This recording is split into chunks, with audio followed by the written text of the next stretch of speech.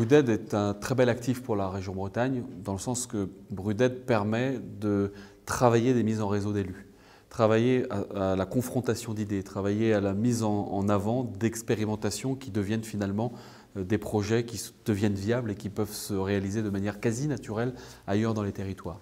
Et ça, ça n'a pas de prix.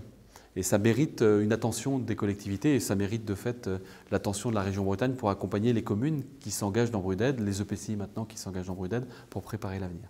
La deuxième chose, c'est que je crois que Bruded est une sorte de catalyseur des transformations. On est dans une période de transformation extraordinaire. On se cogne un peu dans les murs, on ne sait pas vers quoi on va, on crée beaucoup d'angoisse. Regardez nos citoyens aujourd'hui, ils se posent beaucoup de questions.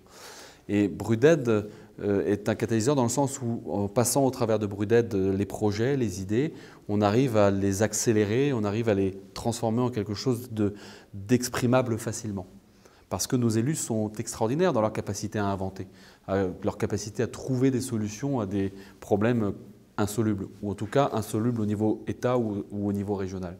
Eh bien, c'est nos élus de terrain qui trouvent les solutions. Et Bruded les révèle, les met en résonance, et permet euh, de disséminer les bonnes pratiques en accélérant la dissémination. Voilà, c'est à mon sens le rôle de Bruded et c'est comme ça que je vois Bruded.